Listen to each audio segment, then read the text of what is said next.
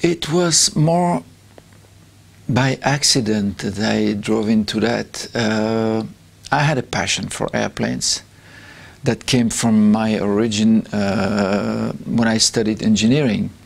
Uh, I went to university after school and studied engineering, got a degree, and was uh, very much involved in, in, in, all mechanical parts of life, like in cars, car racing, and also airplanes. And I, uh, I flew my first airplane when I was 21, and then uh, used a plane for my travels when I was uh, driving in Formula One.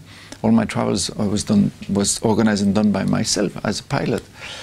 And uh, I did a few transactions for myself in uh, the Formula One uh, times, buying and selling airplanes, and then that's how it all started. But it was not really a goal that I had. It was purely it, it came from from a natural move from racing to something else, to my second passion that was uh, that was airplanes, uh, and it developed. Uh, as I said, I, I, did not start it as a, as a, with a business plan or with an idea to grow my business in certain way.